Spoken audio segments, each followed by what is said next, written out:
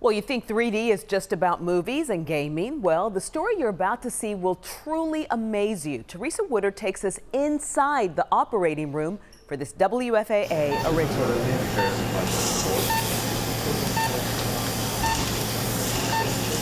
6:30 a.m and busy already. matter of fact, patients are already coming in to the hospital. You probably came on an elevator with many of them. Before we can take you into a place you've likely never been. This is not going to be very graceful. We suit up. Not what I normally do at 6:30 in the morning on a Friday. Taking all the precautions. It's rare for the North Texas VA to allow reporters and cameras inside its surgical suite. All right, we're ready. Nurses prep while many of us are still on our first cups of coffee. Surgeons perform more than 7,500 surgeries a year here. The one we're going to witness is among the first of its kind. As the surgeon scrubs in, notice what's on his eyes. Those are 3D glasses because he's about to perform 3D neurosurgery while we watch. It allows you to visualize it in 3D. Wow. You feel like you're in there. The North Texas VA is the only VA in the nation and the only hospital in Texas using a 3D 4K video microscope called an Orbi.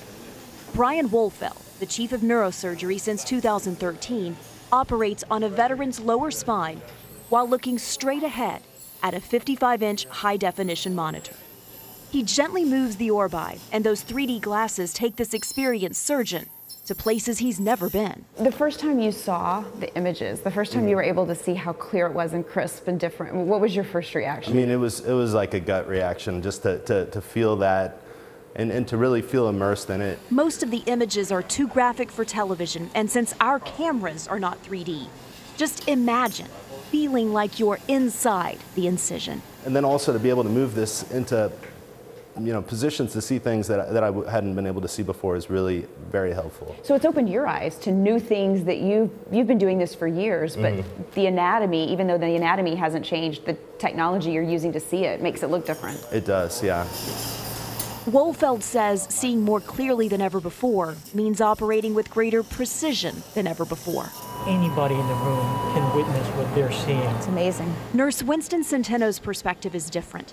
Everyone in the operating room can see the live 3D video, which means surgical nurses can better anticipate Dr. Wohlfeld's needs, saving time in a room where moments matter. But what matters most, the patient on this operating table and thousands like him, all veterans. We're seeing younger younger vets coming back from conflict, you know, with, and sometimes with injuries that they've really been um, uh, trying to live through. And at some point, it reaches a point that they just, you know, can't take it anymore. And, and we're, you know, doing our best to help them. Wohlfeld and his team lobbied for this tool, believing those who served deserve cutting edge care. If I had my way, I'd be back in active duty, but this is the way that I can give back. And if I can do it one patient at a time, that's the way I can uh, deliver it.